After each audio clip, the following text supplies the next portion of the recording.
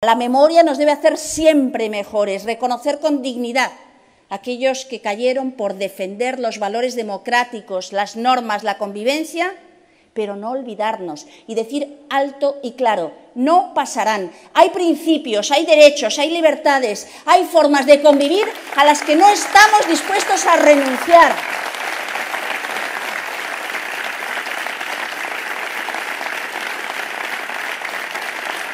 Y eso es lo que se hace con el privilegio, el inmenso privilegio que solo se reconoce como tal cuando no se tiene, que es ir y ejercer el derecho al voto, pararnos en las urnas. Ni buen tiempo ni mal tiempo, ni playa, ni casa, ni pereza, porque siempre nos arrepentiremos si no ejercemos nuestro derecho a decir no, alto y claro, en las urnas.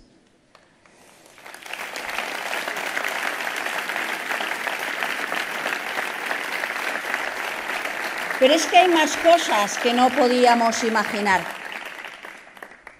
No podíamos imaginar que los que fueron socios históricos de la apuesta por la paz y la convivencia tras el final de la Guerra Mundial, los demócratas cristianos, los conservadores europeístas, nos iban a traicionar así, diferenciando entre una ultraderecha buena y una ultraderecha mala. Blanqueando, porque si suman, si suman, lo van a hacer.